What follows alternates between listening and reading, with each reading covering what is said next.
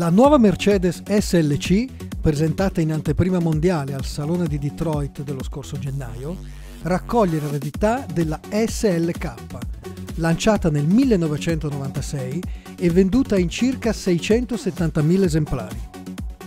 I designer Mercedes hanno accentuato ulteriormente l'estetica sportiva della Roadster, come dimostra il nuovo frontale con la mascherina del radiatore verticale, che sembra un'estensione del cofano motore affusolato. Anche l'abitacolo si presenta ancora più raffinato grazie agli inediti inserti di alluminio con rifinitura effetto carbonio chiaro e scuro. Sfruttando il Dynamic Select di serie, al guidatore è sufficiente premere un pulsante per cambiare le caratteristiche della vettura. A seconda delle preferenze il sistema può modificare la curva del motore, il cambio, lo sterzo e l'assetto.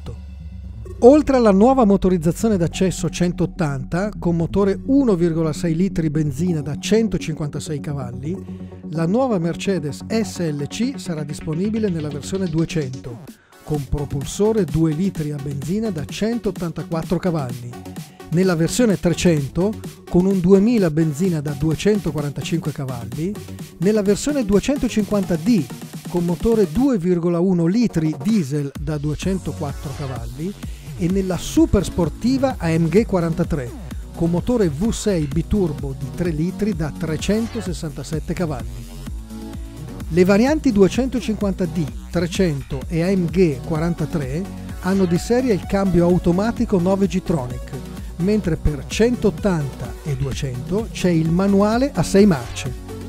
Prezzi compresi tra 37.000 e 67.650 euro.